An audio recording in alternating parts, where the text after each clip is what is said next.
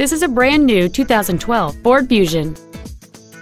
It has a 3.5-liter six-cylinder engine and a six-speed automatic transmission.